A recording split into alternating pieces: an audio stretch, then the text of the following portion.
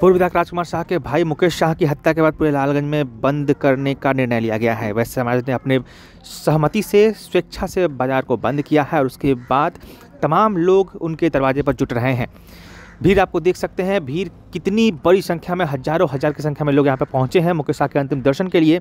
और अब मुकेश शाह के शव को नगर से होते हुए अपने अंतिम गंतव्य तक ले जाया जा रहा है।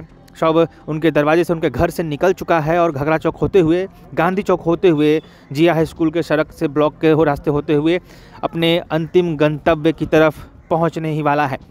तो आप देख सकते हैं, मुकेश शाह की बीते शनिवार की देर शाम पाँच बजे गोली मारकर हत्या कर दी गई थी। उनके शरीर से 19 गोलियों के निशान मिले हैं, जिसके बाद पुलिस लगातार छापेमारी कर रही है और सीसीटीवी फुटेज को खंगालने का प्रयास कर रही है, लेकिन अब तक कोई सफलता नहीं मिली है।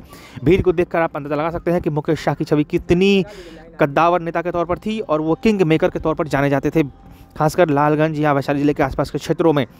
लोगों के आँखों में आँसू है, परिवार का रोड रोकर बुरा हाल है, सिर्फ़ परिवार नहीं, जो उनके चाहने वाले हैं, उनके समर्थक हैं, उन सब के आँखों में आँसू है और सब इस हत्या से प्रशासन के खिलाफ जमकर गुस्से में नज़र आ रहे हैं, क्योंकि ये हर साल की एक रीत बन चुकी है कि लालगंज से जब भी कोई वैश्य समाज का व्यक्ति अच्छा करता है अच्छा बनता है, बोलने की हिम्मत करता है, उसके आवाज़ को हमेशा के लिए खामोश कर दिया जाता है।